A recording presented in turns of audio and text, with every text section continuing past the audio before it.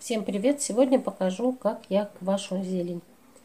В ход идет абсолютно любая зелень, которой весной предостаточно. Она очень быстро и хорошо растет, но также быстро стареет и грубеет. Поэтому стоит вопрос о ее переработке, засолке, замораживании, сушке и как один из вариантов квашения. Подойдет любая огородная зелень, которую вы выращиваете. Сегодня я буду показывать на примере красной листовой горчицы. Зима была теплая, поэтому ели мы ее всю зиму. Сеяла я ее осенью. Вот так она выглядела в апреле и к началу мая очень быстро зацвела. Конечно, этого момента дожидаться не нужно, потому что э, листики уже становятся грубыми. Собрать их желательно раньше. Также мангольд, который тоже скоро зацветет. Лучок, которого весной очень много. Прошлогодняя петрушка, прошлогодний лук-порей – все это, если оставить на грядке, оно зацветет, огрубеет и просто-напросто невозможно будет использовать в пищу. Всю горчицу я срубила, сорвала с нее листья, петрушку выдернула, все хорошенько промыла. Можно даже замочить на несколько часов, чтобы отошла вся пыль, которая прилипла за зиму. Выкладываю слоями листья в подходящую емкость в данном случае это таз, и каждый слой пересыпаю солью. Соли на этот таз зелени у меня уйдет примерно один стакан.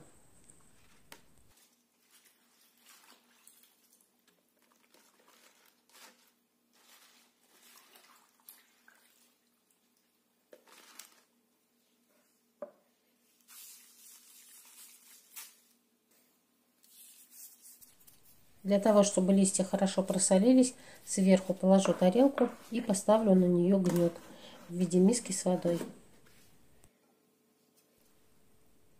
И оставляем в таком виде на несколько часов. Если нет времени, то можно оставить даже на сутки. Ничего страшного с листьями зеленью не случится. Пока горчица солится, подготовлю остальные ингредиенты. Всю зелень, которую мне нужно использовать, заготовить впрок, измельчаю при помощи ножа. Можно использовать э, мясорубку, блендер, кому как удобно. И смотря какая зелень. Петрушку порубила. Корешки петрушки, хоть и небольшие совсем, тоже не стала выбрасывать. Почистила и порубила.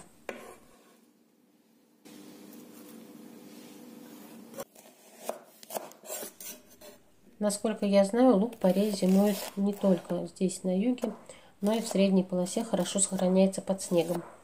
Обычно используется только нежная белая часть, но для квашения подойдут и довольно-таки грубые листья. Главное потоньше их измельчить.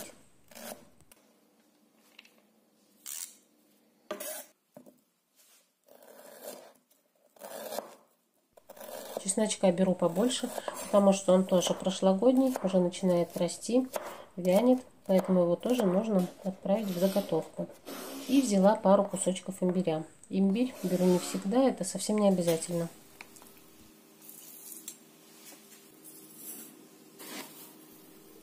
Все ингредиенты, всю зелень можно просто смешать и поставить кваситься, добавив немножко сахарку. Но я приготовлю специальную заливку по типу кимчи. 3 столовых ложки сахара, 3 столовых ложки с огромной горкой крахмала, и столовую ложку с горкой острого красного перца. Заливаю все это литром воды и ставлю на небольшой огонь. Готовить смесь нужно постоянно помешивая, потому что схватывается крахмал очень быстро. Сначала у стенок и дна, и потом меньше чем за минуту вся смесь загустеет, превратится вот в такой густой кисель. Как только этот кисель станет полностью прозрачным, снимаем смесь с огня.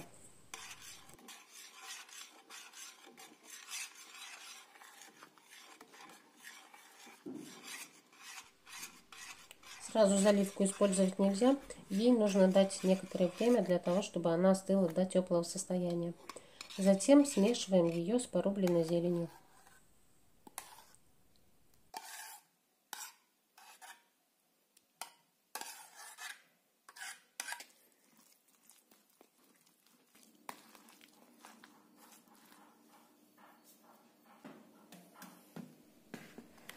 Рассол или хотя бы его часть нам впоследствии пригодится. Поэтому не выливаю, а сливаю его в миску.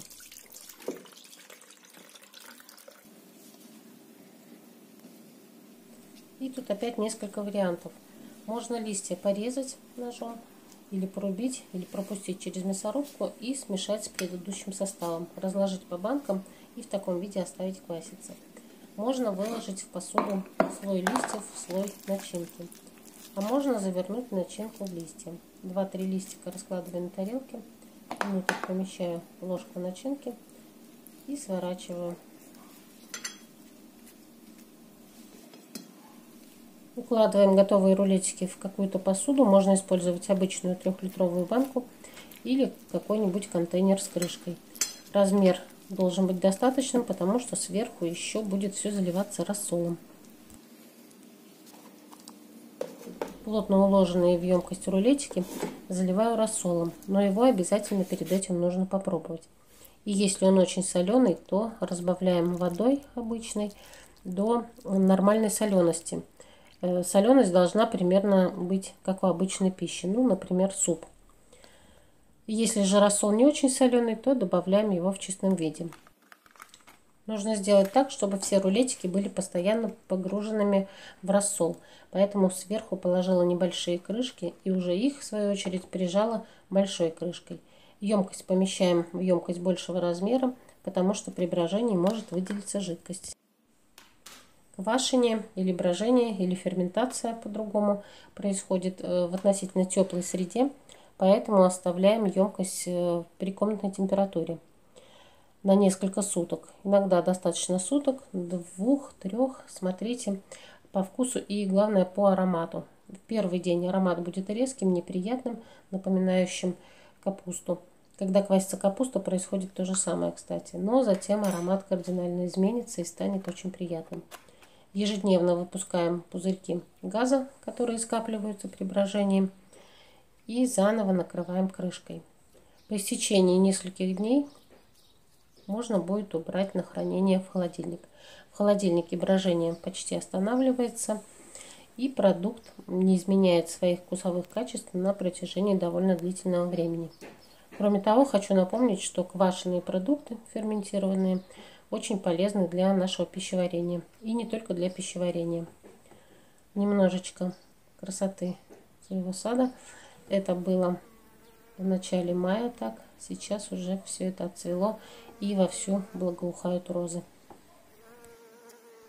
Использовать квашеную зелень можно в чистом виде, добавлять в салаты, э, добавлять при приготовлении мясных, рыбных, овощных блюд.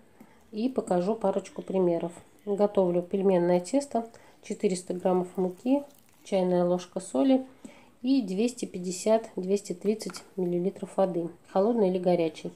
Можно добавить 1-2 столовые ложки растительного масла. Замешиваю довольно-таки крутое тесто, которое после отлежки, обязательно оно должно отлежаться, и повторном вымешивании станет очень мягким.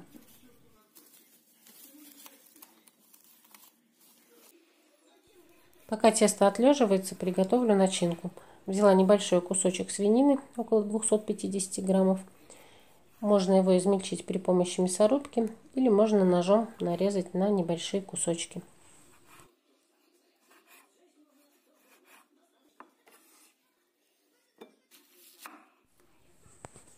Луковицу также пропускаем через мясорубку, либо измельчаем при помощи ножа.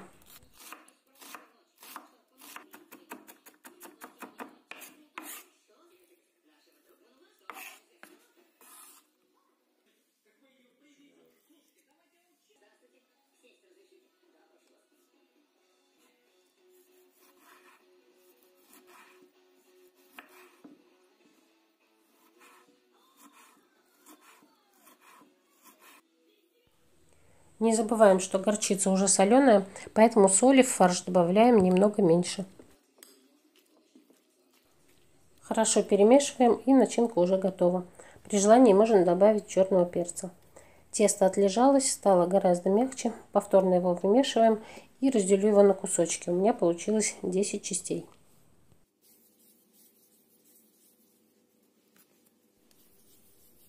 Каждый кусочек теста скатываю в шарик – доску смазываю растительным маслом и раскатываю поочередно каждый шарик в пласт как можно более тонкий. Он должен буквально просвечивать.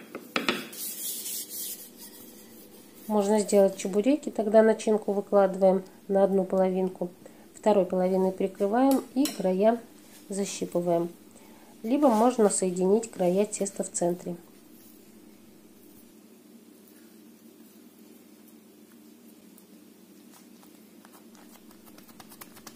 Жарю пирожки в раскаленном растительном масле. Сначала с одной стороны, затем переворачиваем. После этого можно перевернуть еще один или два раза. Для того, чтобы мясо успело приготовиться, огонь делаем не слишком большим, но и не слишком маленьким, иначе хрустящей румяной корочки не получится.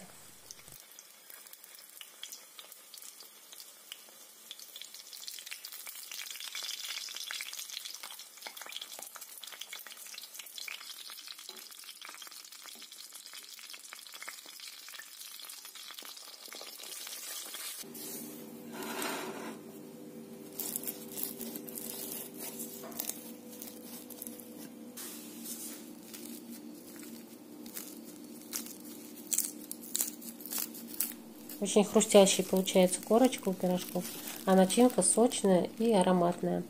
Благодаря квашеной зелени она приобретает пикантный вкус, кислинку. Очень вкусные пирожки. И второй вариант. У меня есть кусок толстолобика, примерно килограмм. Противень застилаю фольгой. Выложенные кусочки на фольгу покрываю порубленной квашеной зеленью, поджаренной вместе с репчатым лучком на растительном масле. Туда же добавила немного острого красного перца. Покрываю все вторым куском фольги.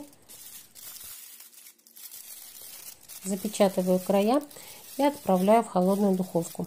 Выставляю температуру 200 градусов, время 40 минут. Пока разогреется, на готовку уйдет минут 25-30.